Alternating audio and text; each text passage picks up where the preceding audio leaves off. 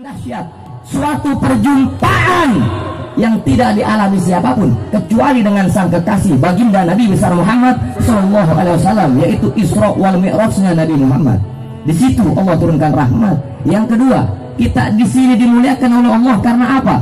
Karena kita berkumpul dengan para ulama, berkumpul dengan pewaris ilmunya Nabi, berkumpul dengan pewaris lisannya Nabi, berkumpul dengan giro, dengan warisan daripada amar ma'ruf nahi munkarnya Nabi. Di situ Allah turunkan rahmat yang di mana? Ini malam malam Ahad. Banyak pemuda-pemudi kita tercemari oleh dosa, lisannya menggunjing orang lain, kakinya digunakan untuk pacaran yang belum mahramnya, badannya dibawa tempat-tempat maksiat. Akan tetapi kita semua yang hadir di sini adalah orang-orang pilihan daripada Allah Subhanahu Subhanahu wa taala. Yang di mana pada saat ini malam minggu malamnya malam anak-anak muda betul? Betul. Tapi di situ bukan malam bukan malam anak muda. Di situ malam-malam penuh dengan maksiat malam penuh kemurkaan Allah malam penuh kemudaratan Allah tapi di sini Allah gerakkan hati kita gerakkan kaki kita gerakkan langkahan kaki kita untuk berkumpul dengan para ulama. Gala Rasul sallallahu alaihi wasallam man zara ali man faga ana mazaroni man sofa ali man faga ana ani man jalasa ali man faga ana majalasani fid dunya wa man jalasani fid dunya ajlasuhu ma yaumil qiyamah. Nabi Muhammad sallallahu alaihi wasallam bersabda siapa orang yang mendatangi ulama mendatangi kiai mendatangi ustaz mendatangi orang-orang yang mengerti ilmu agama?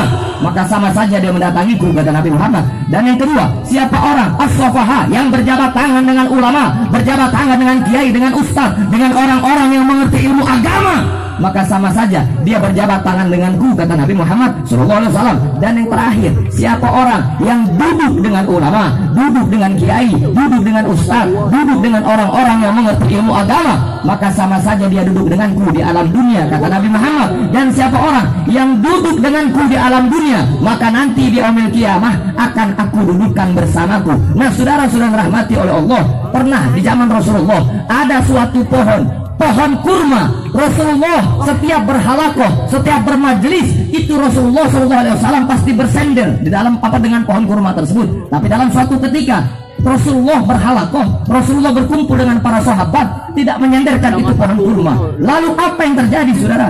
Pohon kurma pohon yang tidak bernyawa pohon yang tidak dipela tidak dicintai pohon menangis merindukan Nabi Muhammad Wasallam itu pohon. Bagaimana dengan kita umatnya? Bagaimana dengan kita umatnya yang dirindui oleh beliau, dicintai oleh beliau, dibela oleh beliau, bahkan dimohonkan ampun, diinginkan Rasulullah SAW agar umatnya masuk ke dalam telaga Al-Hod, telaga Al-Kausar, masuk ke dalam surganya Allah. Sudahkah kita berjuang, berkorban untuk baginda Nabi besar Muhammad Sallallahu? Nah saudara sering rahmati oleh Allah Kita kumpul pada malam hari ini Untuk mengenang suatu peristiwa yang paling agung. Peristiwa apa yang paling agung? Peristiwa Isra wal Mi'raj. Subhanalladzi asra bi abdihi lailan. Pertama kali Allah menyebut di situ Allah.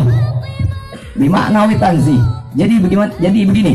Subhana Allah memulai Allah mengulang Allah mengawali Dengan mengagungkan dirinya.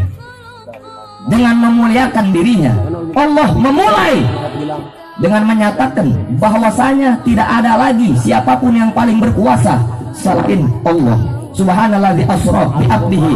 Allah memperjalankan siapa? Baginda Nabi besar Muhammad sallallahu alaihi wasallam. Asra bi abdihi kalimah bi abdihi abd yaitu hamba. Hamba yaitu ada jasadnya, ada ruhnya, ada raganya. Maka dimulainya dengan biabdihi dengan jasad, dengan nyawa, dengan raga. Jadi Isra wal Mi'raj Nabi Muhammad. Mi'rajnya Nabi Muhammad. Isra Mi'raj. Isra-nya berjalan di malam hari atau berangkat di malam hari. Nah, subhanallah di asra bi abdihi lailan. Lailan di, diakhiri dengan tanwin yaitu isim nakiro. Karena diakhiri dengan tanwin, kalau diakhiri apa kalau diawali dengan isim ma'rifah